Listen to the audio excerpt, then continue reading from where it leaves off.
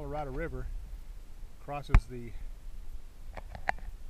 Highway 89, probably as far north of the Grand Canyon you can get before the canyon. And this is uh, what cut the uh, Grand Canyon, Colorado River. Beautiful area.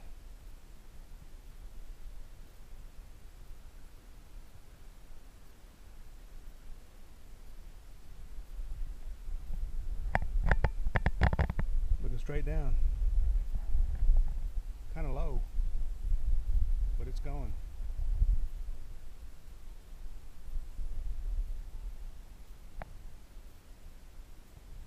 Who is that?